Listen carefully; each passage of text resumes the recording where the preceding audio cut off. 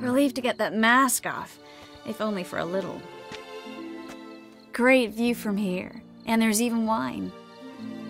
It's been so long since I've been to a feast, ball, or reception. Amazingly pleasant change from the sewers of Novigrad. So, does this mean it's a good time to ask you about? Yes? About that mage we met earlier? Ah, oh, Moritz. What do you want to know? How'd you meet?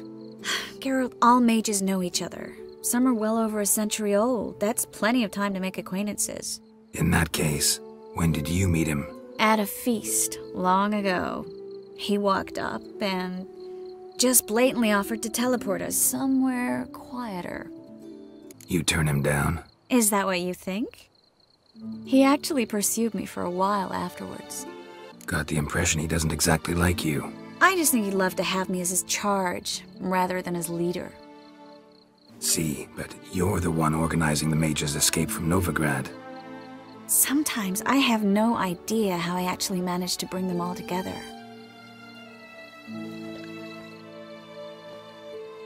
They don't have anyone else. Oh, sheesh, thanks, Geralt. If you meant to say something nice, try again. I'm glad we came here together. Really? Despite all these bloated nobles, the bowing, the fake smiles. hmm Not often we get the chance to just talk.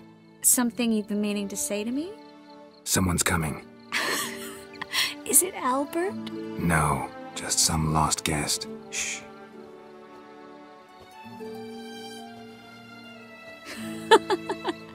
Must be looking for his beloved. Like in that elven tale about the frog and the lark. Inchu, inchu, biag broga. Inch by inch, little frog.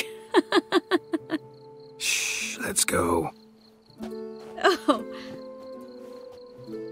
I sure hope the other guests don't get drunk as quickly as I did. Sooner we get out of here, the better. Oh no. I plan to have a good look at this famous maze of theirs first.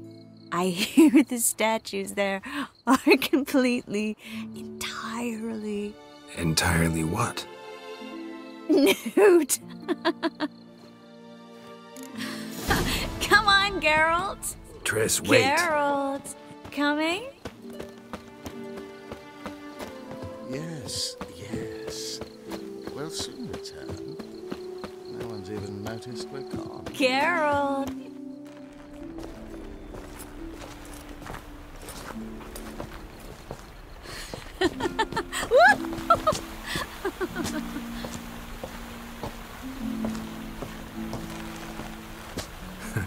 Careful.